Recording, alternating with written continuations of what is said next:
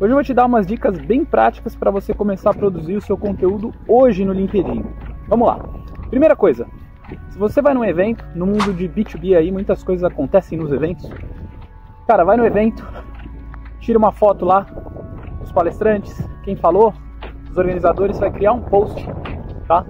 É, sobre o evento, o que você aprendeu e vai marcar essas pessoas. Primeira dica de conteúdo, super simples, indolor, muito fácil de executar. Você vai ver que tem um monte de like, de comentários, eu já explico o que você vai fazer com isso. Mas tá aí, seu primeiro conteúdo, se você não sabe o que falar no LinkedIn, tá aí a primeira dica. Segunda dica, muita gente vai viajar com a empresa, ou pela empresa. E é, é bem comum ir em comitiva. Você vai pegar, vai tirar uma foto com seu time, ali vai explicar o motivo da viagem, o que, que você aprendeu, vai publicar no LinkedIn, vai, vai marcar os teus colegas, vai falar o que, que qual, por que, que vocês foram viajar, o que, que vocês aprenderam, quais foram os insights aprendizados. Você vai ver novamente aquilo ali vai ter engajamento, likes, comentários e dica. Quanto maior a empresa, melhor. Então, porque mais pessoas vão estar no LinkedIn e mais impacto para tua marca pessoal e para tua empresa que isso vai ter. Uma outra dica, você pode começar uma série toda semana, tirar uma foto de alguém da tua empresa e explicar o que que, ela, o que, que aquela pessoa faz e por que que ela é especial. Cara, você vai estar tá elevando alguém, você vai estar tá naturalmente elevando alguém, mais pessoas da empresa vão ver aquilo, aquele, aquele post, tá? E simples assim, o retorno vai ser engajamento e vai ser pessoas comentando na tua foto. Você pode começar uma série de como fazer, como não fazer.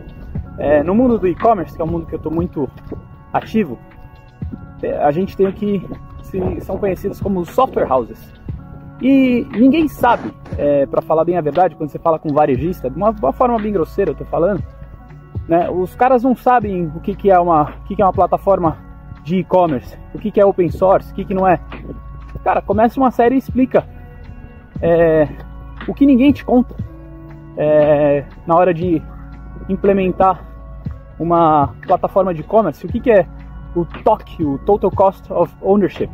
É, quando você deve implementar uma solução open source, quando você deve usar, usar microservices, então começa uma série bem simples, explicando o óbvio da sua forma, porque o óbvio precisa ser dito e nem todo mundo sabe do óbvio. Te garanto, você vai ter retorno aí em, em, em forma de engajamento, forma de like.